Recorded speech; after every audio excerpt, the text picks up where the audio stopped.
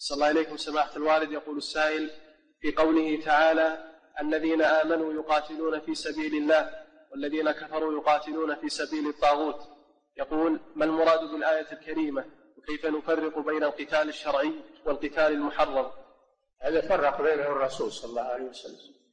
لما سئل من الذي يقاتل في سبيل الله؟ قال من من قاتل لتكون كلمة الله هي العليا فهو في سبيل الله.